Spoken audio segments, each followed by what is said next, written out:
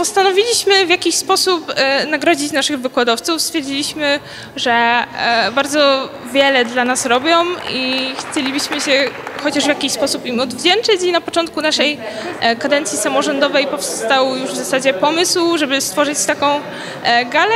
Gala sama koncepcyjnie zakłada to, że nasi studenci nominowali po pięć osób w siedmiu kategoriach. Jest też jedna nagroda specjalna, po to, żeby podziękować za to, co my otrzymujemy od nich jako studenci i de facto za to, e, za te wszystkie umiejętności, które e, będziemy zdecydowanie wykorzystywać e, w naszej przyszłości. Nie spodziewałem się takiego formatu, to znaczy bardzo mi miło jako e, wykładowcy, tak powiem, kultury amerykańskiej, że e, studenci trochę podłapali takich wzorców z, ze słynnych rozdań nagród w Hollywood, a w różnych innych miejscach, no i postanowili w jakiś sposób to zaadaptować do, do, do naszego wydziału. Bardzo miła niespodzianka. Staram się zawsze studentom pomagać i poświęcać im jak najwięcej czasu, y, wyręczać ich w różnych rzeczach. Jest mi naprawdę bardzo miło, że studenci pomyśleli o mnie i czuję się naprawdę zaszczycona, bo to znaczy, że e, coś zrobiłam dobrze. Bardzo lubię uczenie, uczenie no nie chcę być taka górnolotna